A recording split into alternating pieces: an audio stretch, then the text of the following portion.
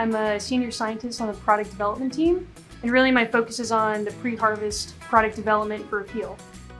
In the grow room here, we actually do all of our in-house testing on growing plants.